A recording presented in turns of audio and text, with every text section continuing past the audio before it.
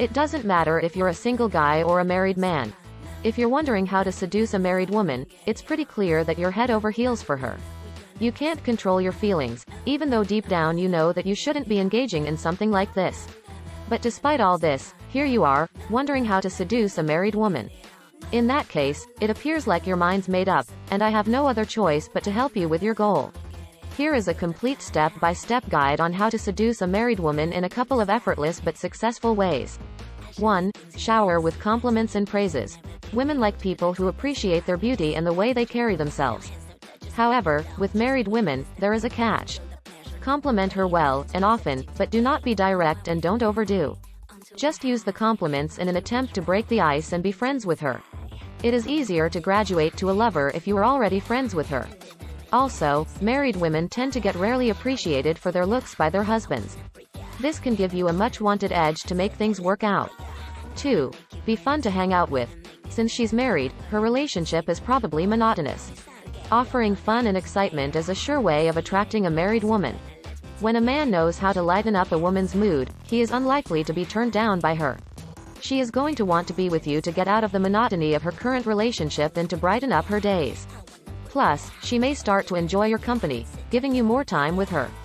3. Make her feel special. Dress up well for her, get her flowers and give her surprises every now and then.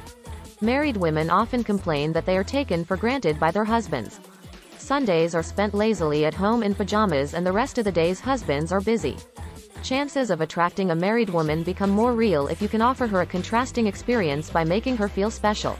However, if she is a no-nonsense woman, you may have to be very careful, as she may feel that you are doing all this on purpose. 4. Have healthy conversations. Married women are weighed down with the responsibilities they have and rarely get to talk much to others. They crave healthy, meaningful conversations but all that they get talked about is family life, cooking and mundane tasks. Discuss the day-to-day -day affairs with her, religion, politics, movies, places to see and visit. See what interests her most and have healthy conversations with her. Also, make it a point to tell her often that you like the way she reasons. She will feel that you appreciate her for her abilities, not just her good looks. 5. Be a good listener. Married women often don't have anybody to discuss their marriage problems with for fear of being judged. Sometimes, they do not share because of trust issues.